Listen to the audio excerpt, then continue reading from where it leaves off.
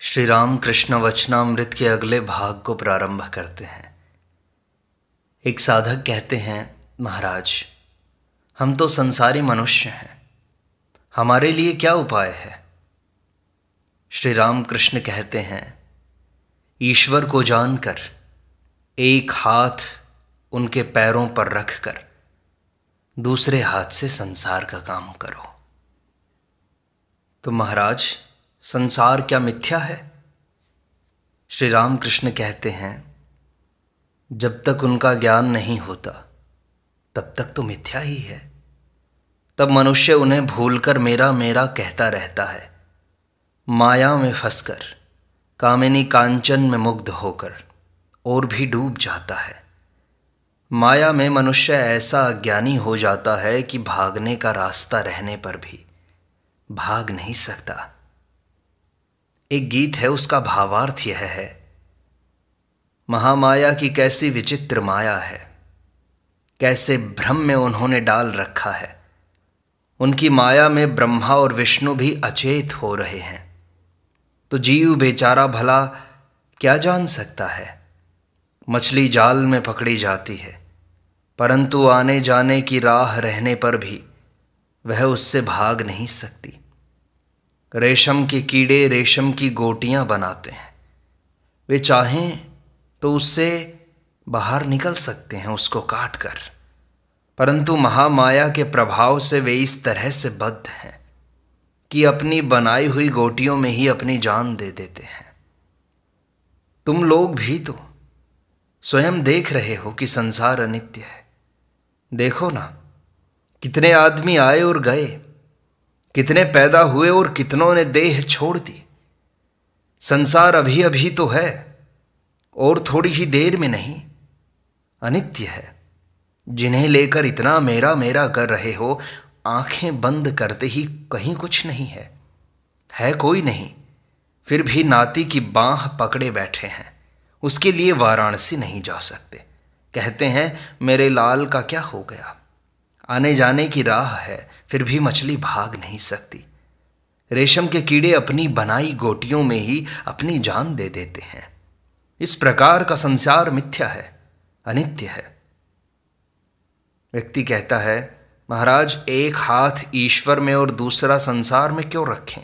अगर संसार अनित्य है तो एक हाथ भी संसार में क्यों रखें भला?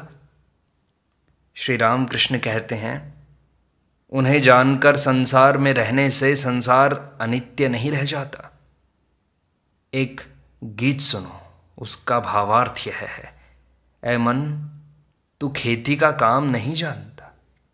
ऐसी मनुष्य देह रूपी ज़मीन पड़ी ही रह गई। अगर तू काश्तकारी करता तो इसमें सोना फल सकता था। पहले तू उसमें काली नाम का घेरा लगा दे। इस तरह फ़सल नष्ट न हो सकेगी। वह मुक्त केशी का बड़ा ही दृढ़ घेरा है। उसके पास यम की भी हिम्मत नहीं जो कदम बढ़ा सके। आज या शताब्दी भर के बाद यह ज़मीन बेदखल हो जाएगी। क्या यह तू नहीं जानता? अतएव अब तू लगन लगाकर उसे जोत कर। फ़सल क्यों नहीं तैयार कर लेता? गुरु प्रदत्त बीज डालकर भक्तिवारी से खेत सींचता जा। अगर तू अकेला यह काम न कर सके तो अहंकार को, मैं को भी अपने साथ ले ले। श्री राम कृष्ण कहते हैं, गाना सुना, गीत का भावार्थ सुना, काली नाम का घेरा लगा दो। इससे फ़सल नष्ट न होगी। ईश्वर की शरण में जाओ, सब कुछ पाओगे। वह मुक्त केशी माँ का बड़ा ही मज़बूत घेरा है। उसके अंदर यमराज पैर नहीं बढ़ा सकते। बड़ा ही मज़बूत घेरा है। उन्हें अगर प्राप्त कर सको तो फिर संसार असार न प्रतीत होगा। जिसने उन्हें जान लिया है, वह देखता है, जीव जगत सब वही तो बने हैं। बच्चों को खिलाओ तो यह जानकर कि गोपाल को खिला रहे हो। पिता और माता को ईश्वर और जगन माता देखो और उनकी सेवा करो। उन्हें जानकर संसार में रहने से ब्याही हुई स्त्री से फिर सांसारिक संबंध नहीं रह जाता। दोनों ही भक्त हो जाते हैं। केवल ईश्वरीय बातचीत करते हैं। ईश्वरीय प्रसंग लेकर रहते हैं तथा भक्तों की सेवा करते हैं। सर्वभूतों में वे हैं, अतएव दोनों उन्हीं की सेवा करते हैं। भक्त कहता है, महाराज, ऐसे स्त्री पुरुष दिखाई क्यों नहीं पड़ते फिर? श्री रामकृष्ण कहते हैं, दिखाई देते हैं, परंतु बहुत कम है। विषयी मनुष्य उन्हें पहचान नहीं पाते। परंतु ऐसा तभी होता है जब दोनों ही भले हों। जब दोनों ही ईश्वर प्रेम प्राप्त हों, तभी ऐसा हो सकता है। इसके लिए परमात्मा की विशेष कृपा चाहिए, नहीं तो सदा ही अनमेल रहता है। एक को अलग हो जाना पड़ता है। अगर मेल न हुआ तो बड़ा कष्ट होता है। स्त्री दिन रात कोसती रहती है। बाबूजी ने क्यों यहाँ मेरा विवाह किया? न मुझे ही कुछ खाने को मिला, न बच्चों को ही। न मुझे कुछ पहनने को मिला, न बच्चों को ही मैं कुछ पहना सकी। एक गहना भी तो नहीं है। तुमने मुझे क्या सुख में रखा है? आँखें मूंद कर ईश्वर ईश्वर कर रहे हैं। यह सब पागलपन है, छोड़ दो इसे। भक्त कहते हैं, ये सब बाधाएँ तो हैं ही। ऊपर से कभी कभी यह भी होता है कि लड़के कहना ही नहीं मानते। इस पर और भी कितनी ही आपदाएँ हैं महाराज, उपाय क्या है इनका? श्री राम कृष्ण कहते हैं, संसार में रहकर साधना करना बड़ा कठिन है। बहुत बाधाएँ हैं। ये सब तुम्हें बदलाने की ज़रूरत नहीं है। रोग, शोक, दारिद्र्य, उस पर पत्नी से अनबन, लड़के आवारा हो गए, मूर्ख और गंवार हो गए। परंतु उपाय है। कभी कभी एकांत में जाकर उनसे प्रार्थना करनी पड़ती है। उन्हें पाने के लिए चेष्टा करनी पड़ती है। भक्त कहते हैं, घर से निकल जाना होगा क्या? श्री रामकृष्ण कहते हैं, एकदम नहीं। जब अवकाश हो, तब निर्जन में जाकर एक दो दिन रहो। परंतु संसार से कोई संबंध न रहे। किसी विषयी मनुष्य के साथ, संसार के विषय की चर्चा न करनी पड़े। या तो निर्जन में रहो या सत्संग करो। भक्त कहता है, सत्संग के लिए साधु महात्मा की पहचान कैसे हो महाराज? श्री रामकृष्ण कहते हैं, जिनका मन, जिनका जीवन, जिनकी अंतरात्मा ईश्वर में लीन हो गई है, वही महात्मा है। जिन्होंने कामिनी और कांचन का त्याग कर दिया है, वही महात्मा है। जो महात्मा हैं वे स्त्रियों को संसार की दृष्टि से नहीं देखते। यदि स्त्रियों के पास वे कभी जाते हैं तो उन्हें मातृवत देखते हैं और इनकी पूजा करते हैं। साधु महात्मा सदा ईश्वर का ही चिंतन करते हैं। ईश्वरीय प्रसंग के सिवाय और कोई बात उनके मुख से नहीं निकलती और सर्वभूतों में ईश्वर का ही वास है। यह जानकर वे सबकी सेवा करते हैं। संक्षेप में यही साधुओं के लक्षण हैं। भक्त कहता है, क्या बराबर एकांत में रहना होगा महाराज? श्री राम कृष्ण कहते हैं, फुटपाथ के पेड़ तुमने देखे हैं। जब तक वे पौधे रहते हैं, तब तक चारों ओर से उन्हें घेर कर रखना पड़ता है। नहीं तो बकरे और चौपाए उन्हें चर जाते हैं। जब पेड़ मोटे हो जाते हैं, तब उन्हें घेरने की ज़रूरत नहीं रहती। तब हाथी बाँध देने पर भी पेड़ नहीं टूट सकता। तैयार पेड़ अगर बना ले सको तो फिर क्या चिंता है, क्या भय है? विवेक लाभ करने की चेष्टा पहले करो। तेल लगाकर कटहल काटो, उससे दूध नहीं चिपक सकता। भक्त कहता है, विवेक किसे कहते हैं महाराज? श्री राम कृष्ण कहते हैं, ईश्वर सत है और सब कुछ असत। इस विचार का नाम विवेक है। सत का अर्थ नित्य और असत का अनित्य है। जिसे विवेक हो गया है, वह जानता है, ईश्वर ही वस्तु हैं और सब अवस्तु हैं। विवेक के उदय होने पर ईश्वर को जानने की इच्छा होती है। असत को प्यार करने पर, जैसे देह सुख, लोक सम्मान, धन, इन्हें प्यार करने पर, सत्स्वरूप ईश्वर को जानने की इच्छा नहीं होती। सत असत विचार के आने पर ईश्वर की ढूंढ तलाश की ओर मन जाता है। उस गीत में कहा भी तो है कि मन आ घूमने चले, काली कल्प तरु के नीचे। है मन, चारों फल तुझे पड़े हुए मिलेंगे। प्रवृत्ति और निवृत्ति तेरी स्त्रियाँ हैं। उनमें से निवृत्ति को अपने साथ लेना, उसके आत्मज विवेक से तत्व की बातें पूछ लेना। सूची अशुचि को लेकर दिव्य घर में तू कब सोएगा?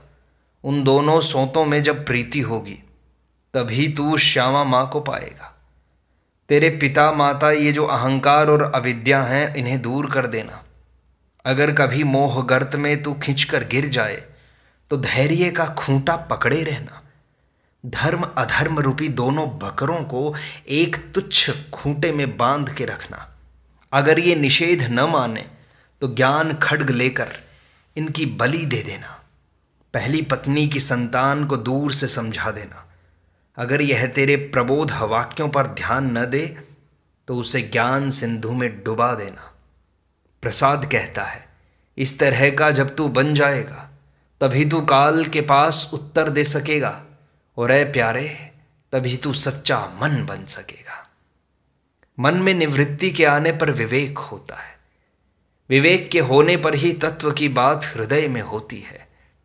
तभी काली कल्प तरु के नीचे घूमने के लिए मन जाना चाहता है। उस पेड़ के नीचे जाने पर, ईश्वर के पास आ जाने पर चारों फल, धर्म, अर्थ, काम और मोक्ष पड़े हुए मिलेंगे। अनायास मिल जाएँगे। उन्हें पा जाने पर, धर्म, अर्थ, काम, जो कुछ संसारियों को चाहिए, वह भी मिलता है। अगर कोई चाहे तो। भक्त कहता है तो फिर संसार को माया क्यों कहते हैं महाराज? श्री राम कृष्ण कहते हैं, जब तक ईश्वर नहीं मिलते, तब तक नेति नेति करके त्याग करना पड़ता है। उन्हें जिन लोगों ने पा लिया है, वे जानते हैं कि वे ही सब कुछ हुए हैं। तब बोध हो जाता है। ईश्वर ही माया और जीव जगत हैं। जीव जगत भी वही हैं। अगर किसी बेल का खोपड़ा, गूदा और बीज अलग कर दिए जाएँ और कोई कहे देखो तो जरा बेल तोल में कितना था। तो क्या तुम खोपड़ा और बीज अलग करके सिर्फ़ गुदा तोल पर रखोगे? या तोलते समय खोपड़ा और बीज भी साथ ले लोगे? एक साथ लेने पर ही तुम कह सकोगे, बेल तोल में कितना था। उसका कवच, उसका खोल माने संसार है, और बीज मानो जीव। विचार के समय तुमने जीव और संसार को अनात्मा कहा था, अवस्तु कहा था। विचार करते समय गोदा ही सार, तथा उसका कवच, उसका खोल और बीज असार जान पड़ते हैं। विचार हो जाने पर सब मिलकर एक जान पड़ता है, और यह प्रतीत होता है कि जिस सत्ता का वह गूदा है, उसी से बेल का खोपड़ा और बीज भी तैयार हुआ है। बेल को समझने चलो तो सब कुछ समझ में आ जाता है। अनुलोम और विलोम, मट्ठे ही का मक्खन है। और मक्खन का ही मट्ठा। अगर मट्ठा तैयार हो गया तो मक्खन भी हो गया है। यदि मक्खन हो गया तो मट्ठा भी हो गया है। आत्मा अगर रहे तो अनात्मा भी तो है। जिसकी नित्यता है, लीला भी उन्हीं की है। जिनकी लीला है, उन्हीं की नित्यता भी है। जो ईश्वर के रूप में प्रकट होते हैं, वही जीव जगत भी हुए हैं। जिसने जान लिया है, वह देखता है कि वही सब कुछ हुए हैं। बाप, माँ, बच्चा, पड़ोसी, जीव, जंतु, भला बुरा, शुद्ध, अशुद्ध, सब कुछ। भक्त पूछता है तो पाप पुण्य नहीं है क्या? श्री रामकृष्ण कहते हैं हैं भी और नहीं भी हैं। वे यदि अहम तत्व रख देते हैं तो भेद बुद्धि भी रख देते हैं। पाप पुण्य का ज्ञान भी रख देते हैं। वे एक दो मनुष्यों का अहंकार बिल्कुल पहुँच डालते हैं। वे पाप पुण्य, भले बुरे के परे चले जाते हैं। ईश्वर दर्शन जब तक नहीं होगा, तब तक भेद बुद्धि और भले बुरे का ज्ञान रहता ही है। तुम मुख से कह सकते हो, हमारे लिए पाप और पुण्य बराबर हैं। वे जैसा कराते हैं, वैसा ही करता हूँ। परंतु हृदय से यही जानते हो कि ये सब एक कहावत मात्र है। बुरा काम करने से छाती धड़कने लगेगी। ईश्वर दर्शन के बाद भी अगर उनकी इच्छा होती है तो वे दास मैं को रख देते हैं। उस अवस्था में भक्त कहता है कि मैं दास हूँ, तुम प्रभु हो। ईश्वरीय प्रसंग, ईश्वरीय कर्म, ये सब उस भक्त को रुचिकर होते हैं। ईश्वर विमुख मनुष्य उसे अच्छा नहीं लगता। उसको ईश्वरीय कर्मों के सिवाय दूसरे कर्म नहीं सुहाते। इतने ही से बात सिद्ध हो जाती है कि ऐसे भक्तों में भी वे भेद बुद्धि रख छोड़ते हैं। भक्त कहता है, महाराज, आप कहते हैं ईश्वर को जानकर संसार करो। क्या उन्हें कोई जान सकता है? श्री राम कृष्ण कहते हैं, उन्हें इंद्रियों द्वारा अथवा इस मन के द्वारा कोई नहीं जान सकता। जिस मन में विषय वासना नहीं, उस शुद्ध मन के द्वारा ही मनुष्य उन्हें जान सकता है। भक्त पूछता है, फिर ईश्वर को कौन जान सकता है? रामकृष्ण कहते हैं, ठीक ठीक, उन्हें कौन जान सकता है भला? हमारे लिए जितना जानने की ज़रूरत है, उतना होने से ही हो गया। हमें कुएँ भर पानी की क्या ज़रूरत? हमारे लिए तो लोटा भर पानी पर्याप्त है भला। एक चींटी चीनी के पहाड़ के पास गई थी। सब पहाड़ लेकर भला क्या करेगी? उसके छिकने के लिए तो एक दो दाने ही काफ़ी थे। भक्त कहता है, हमें जैसा विकार है, इससे लोटा भर पाने से क्या होता है? इच्छा होती है ईश्वर को सोलह आने समझ लें। श्री राम कृष्ण कहते हैं, यह ठीक है, परंतु विकार की दवा भी तो है। भक्त पूछता है, महाराज कौन सी दवा है भला? श्री राम कृष्ण कहते हैं, साधुओं का संग। उनका नाम गुण कीर्तन। उनसे सर्वदा प्रार्थना करना। मैंने कहा था, माँ, मैं ज्ञान नहीं चाहता। ये लो अपना ज्ञान और ये लो अपना ज्ञान माँ, मुझे अपने चरण कमलों में केवल शुद्धा भक्ति दो। मैं और कुछ नहीं चाहता। जैसा रोग होता है, उसकी दवा भी वैसी ही होती है। गीता में भगवान ने कहा है, हे अर्जुन, तुम मेरी शरण ले लो। तुम्हें मैं सब तरह के पापों से मुक्त कर दूँगा। उनकी शरण में जाओ, वे सुबुद्धि देंगे, वे सब भार ले लेंगे, तब सब तरह के विकार दूर हट जाएँगे। इस बुद्धि से क्या कोई उन्हें जान सकता है? शेर भर के लोटे में क्या कभी चार शेर दूध रह सकता है? और बिना उनके समझाए, क्या कोई उन्हें समझ सकता है? इसलिए कहता हूँ, उनकी शरण में जाओ। उनकी जो इच्छा है, वे करें। वे इच्छामय हैं। मनुष्य की क्या शक्ति है? अगले दिन एक भक्त पूछता है कि, महाराज हठ योग कैसा है? श्री रामकृष्ण कहते हैं हठ योग में शरीर की ओर मन ज़्यादा देना पड़ता है। अंतर प्रक्षालन के लिए हठ योगी बाँस की नली पर गुदा स्थापन करता है। लिंग के द्वारा दूध घी खींचता रहता है। जिह्वा सिद्धि का अभ्यास करता है।